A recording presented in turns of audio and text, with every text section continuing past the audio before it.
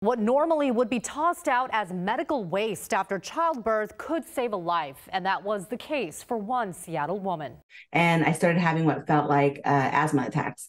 Alexis Harris is a professor of sociology at the University of Washington. In 2016, after getting her symptoms checked out, she was diagnosed with a rare blood cancer. It was MDS, it was aggressive, life threatening, um, 18 to 24 months to live.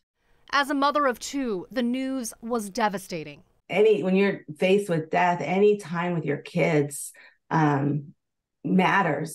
She immediately turned to treatment options. A search in a database for a bone marrow transplant showed no matches, not even with her twin brother. For Harris, whose father was black and Filipino, and her mother, white, finding a match was a challenge we are so underrepresented on the on the bone marrow registry us being African American, Asian American, Native American, Latinx, um, and then if you're you have any intersections of those identities, we have a very very low likelihood of finding matches, something like 20 to 30 percent. Harris's doctor then suggested an alternative, a transplant using stem cells from cord blood. It literally saved my life.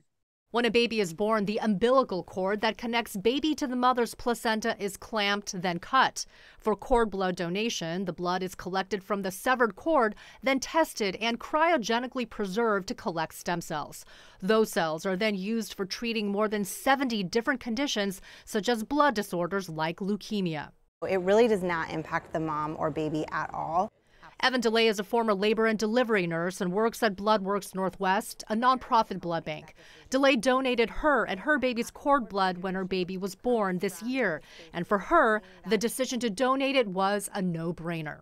It's such a simple thing you can do to potentially save a life with something that you would otherwise dispose of as medical waste. You're basically turning trash into a life saving treatment.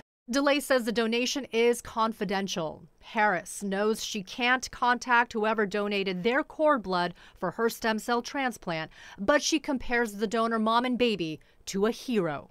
You know, what better a way to start the the first day of your child's life by having them be a superhero and and save somebody else's life.